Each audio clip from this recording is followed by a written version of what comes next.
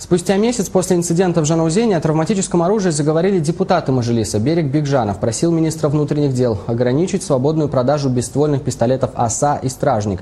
Мажилисмен ссылался на то, что молодежь в последнее время стала очень часто браться за оружие.